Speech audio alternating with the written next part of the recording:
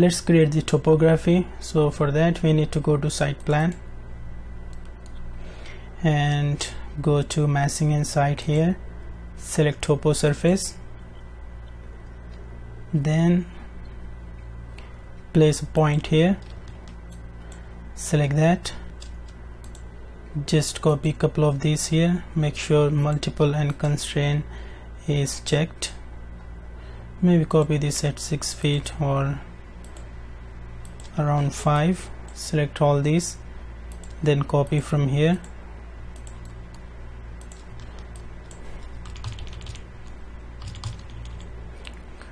Now it's already selected.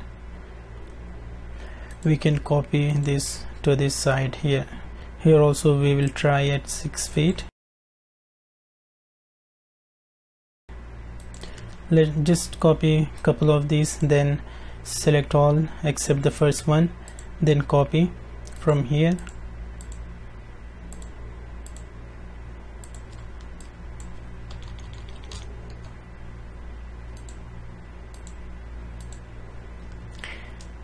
Click finish and we got our topography here. Now let's go to this left view here or the back and select this topography edit surface and we will change the elevation of this from here.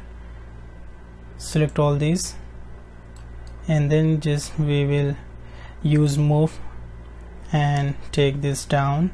We don't have any accurate dimensions for this so we'll just change the elevation randomly. If you want you can put here minus one foot maybe. Or you can just use move and take this down. Hold shift key and deselect all these. Then take this down. First deselect this. Then here we will try to take this up a bit.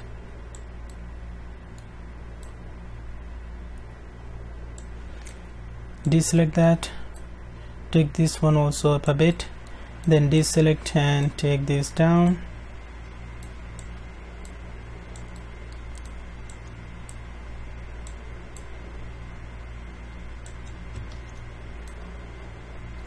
select all these.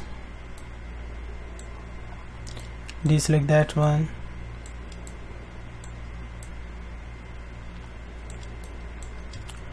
So I just created something like this. Now let's create the building pad here. Okay there's too much slope so I will edit that again. Edit surface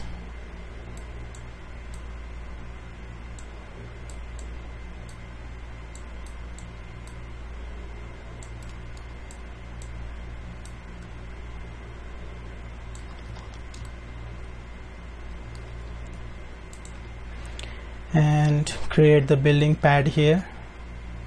Go back to site plan. Go to massing and site select building pad. Then edit type. We will create a 4 feet building pad here. 4 feet. Put 4 feet thickness here. And draw around the building or maybe on this side we can extend this a bit around 5 feet. And on this side let's try 10 feet and see that in 3d so we got this building pad. Let's edit the topo surface again again as I said I, I don't have any accurate dimensions. That's why I need to edit this again.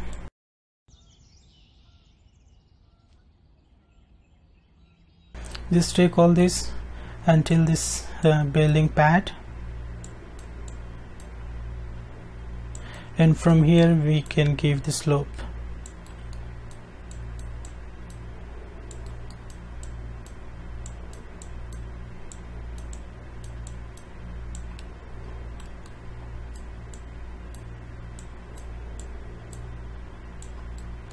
or maybe I will just take all these up a bit because we want to create a swimming pool here.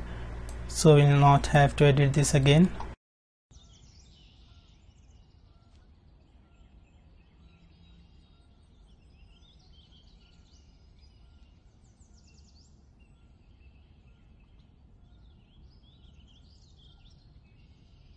So let's create swimming pool here and we will use uh, building pad again to create that go back to site plan select this building pad then create similar.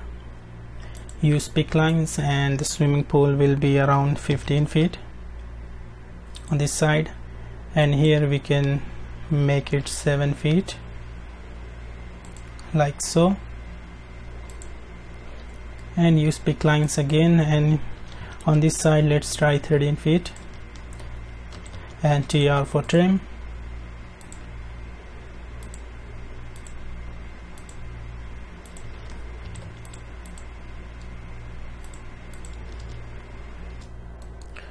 On this side we can we can put 10 feet. Now use pick lines again and put 146 offset here. Then click and then hover over any of these lines. Then hit tab key to highlight all the connected lines then we can click finish. And I think for this one we might need to change the thickness of this building pad. So select that edit type duplicate. This will be a 7 feet which is going to be the height of the swimming pool. Click edit. Put 7 feet thickness. Now we need to the topography here. So for that you can use split surface in the massing and site. Select split surface then click on this topography and then go to site plan use pick lines and then just hover over this edge hit tab key then click finish and we can now delete this topography here. Select that and delete now to fill this opening here you can either use floor or building pad. I will use floor to fill this opening. Go back to site plan and select floor from here. Edit type create a 6 inch floor.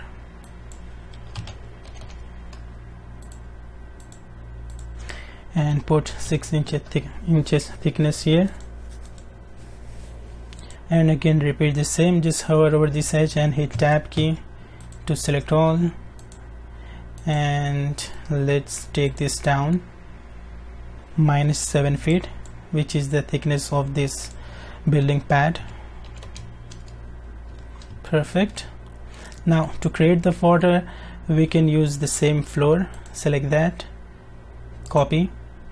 Paste on the same place uh, align to same place. Then you can change the height offset here just ignore this warning. We'll just give the offset here. It will be minus one foot. Perfect. And edit type duplicate. This will be two inches.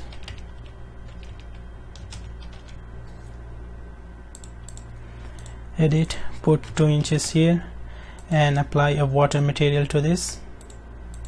Create a new material open up the asset browser go to liquid here and let's select a swimming pool material here.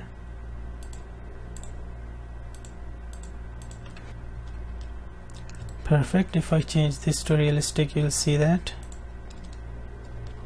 Okay here I just noticed we have to edit this roof again. Select that. Edit profile. And I forgot to move this 6 inches here before. Take that up. 6 inches.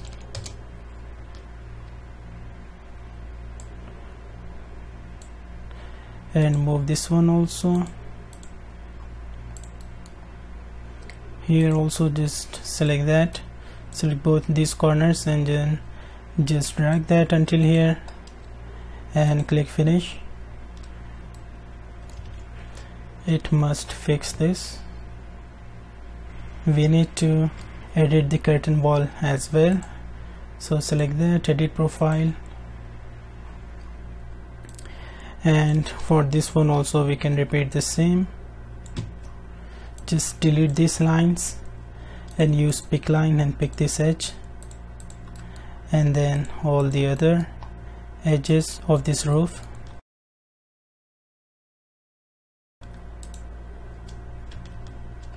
just use tr and join these two. Perfect. On this side here we need to edit this wall also.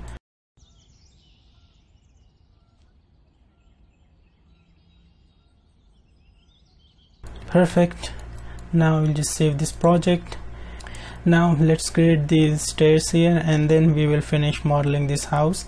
So go to site plan here this minus 4 feet and go here and select stair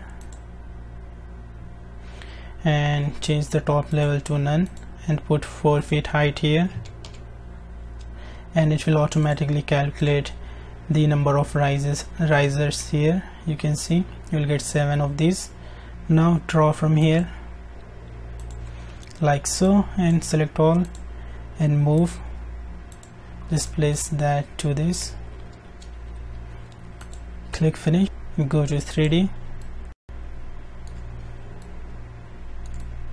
let's edit this topo surface here select that edit surface and we can just select these points and go to left view uh, to the right view here and just move them